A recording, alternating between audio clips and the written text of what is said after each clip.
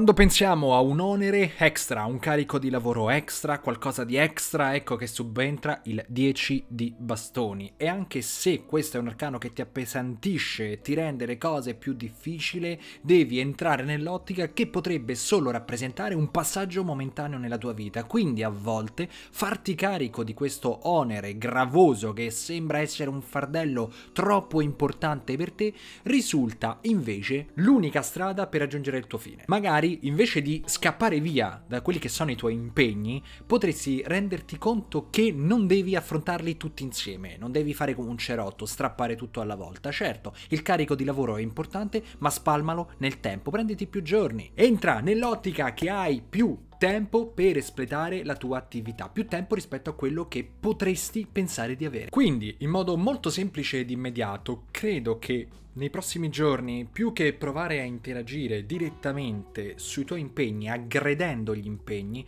devi cercare di fare un lavoro qualitativamente importante e lavorare sulla quantità di tempo che ti serve per portarli a termine. Quindi da un lato dimostrare la maggiore efficienza possibile, dall'altra liberare tempo, liberare tempo per il relax, liberare tempo per il riposo, liberare tempo per tutto ciò che ti serve per non scoppiare. Lo so, lo so, potresti essere delle persone che mi dicono ma guarda io sono quasi arrivato alla fine della mia esistenza, della mia vita, non ce la faccio proprio più, non posso fare tutto quello che dici. Allora, renditi conto che come tutti i 10 di tarocchi, i 10 sono sempre una massima evoluzione all'interno di quel seme e poi si vanno a rigirare in un seme successivo, quindi in un'altra energia, ecco tutti i 10 rappresentano il completamento di un ciclo. E così possiamo anche pensare che la fine del percorso è in vista. Quindi ti chiedo di resistere un pochettino se proprio pensi di non poter assecondare le direttive di questo 10 di bastoni. Ad ogni modo, lavoriamo a bomba proprio su questo stato di cose, chiedendo ai tarocchi quali compiti posso delegare oppure eliminare per questa settimana. Noi ci vediamo domani per il tiraggio della settimana, quali compiti posso delegare oppure eliminare.